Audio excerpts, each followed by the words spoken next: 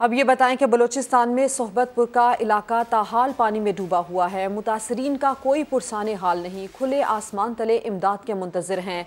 बात करेंगे bureau chief Quetta Jalal Noorzai, जो कि इस वक्त सोहबतपुर में मौजूद हैं। उनसे हम बात करते हैं।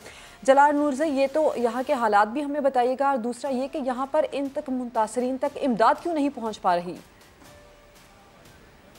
देखिए, ये ज़िला सोबतपुर जो कि मुकम्मल तौर पे पूरी तरह सैलाब से मुतासर है, बल्कि अगर ये कहा जाए कि ये पूरा ज़िला पानी में डूबा हुआ है तो ये गलत ना होगा।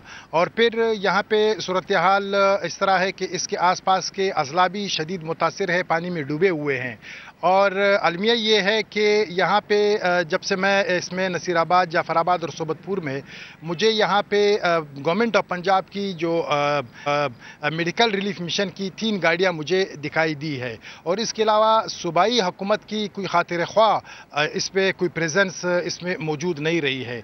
यहाँ पर इस वक्त जहाँ मैं मौजूद हूँ, ये एफ़ सी रिलीफ कैंप है। यहाँ पर तकरीबन छः सौ मुतासरीन को यहाँ पर रखा गया है और इस कैंप के अंदर एफ़ सी की जानब से, पाक फ़ौज की जानब से यहाँ पे डॉक्टर्स मौजूद है, पैरामेडिक्स की यहाँ की टीम मौजूद है और यहाँ पे एक इन्होंने एक अर्जी स्कूल भी कायम किया हुआ है और फिर इस तरह खाने पीने की जुमला और इस तरह साफ़ पानी और बिजली की यहाँ पे सहूलियात दी गई है।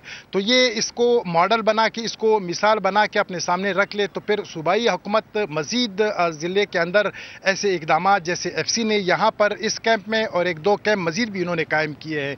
ये इस तरह की इसको मिसाल बना के सहूलियात मुतासरीन को दे सकते हैं। और ये हकीकत है कि वबा फैली हुई है डायरिया में बच्चे बूढ़े औरतें जवान ये मुबतला हो रहे हैं। और इस तरह स्किन की बीमारियाँ वो रिपोर्ट हो रही है और बड़ी तादाद में। फिर ये बिच्छू सांप इसके डसने के वाक़ात ये भी तबातर से हो रही है।